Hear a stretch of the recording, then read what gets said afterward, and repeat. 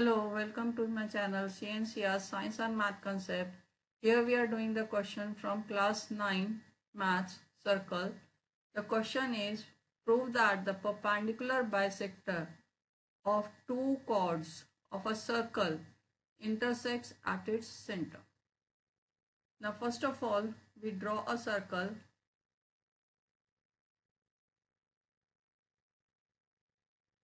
and say this is center O. Now one chord is this PQ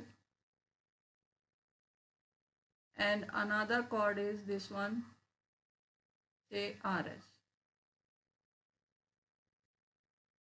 Now point A is the midpoint of chord PQ and point B is the midpoint of chord RS. Now join PQ.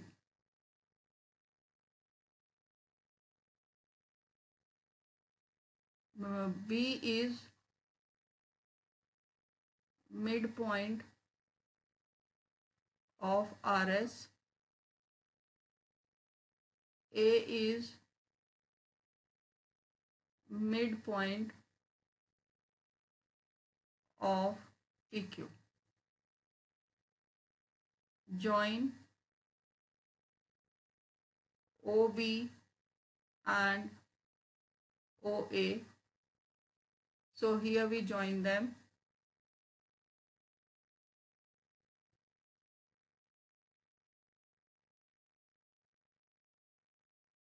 Then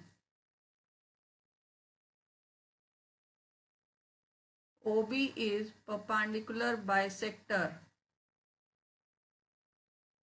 of RS and OA is perpendicular bisector of PQ according to the theorem. But suppose if O is not the midpoint and we consider any other point O dash is the midpoint of the circle then join O dash B and O dash A.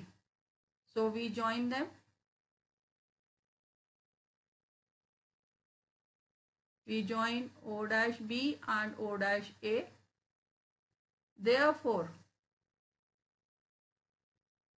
O dash B is perpendicular bisector of RS and O dash A is perpendicular bisector of PQ. But for single line or a single chord, there cannot be two perpendicular bisectors. Therefore, we can say that OB coincides with O dash B and OA coincides with O dash A. When the two lines coincide, then point O and O dash should be same. Therefore, O and O dash are same points. Therefore, perpendicular bisectors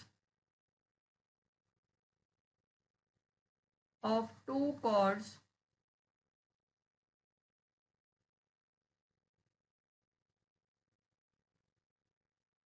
intersect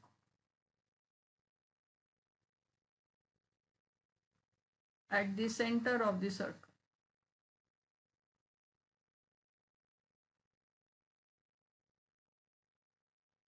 Hence proved. That is all for this question. Keep watching my other videos for more challenging question and do subscribe my channel.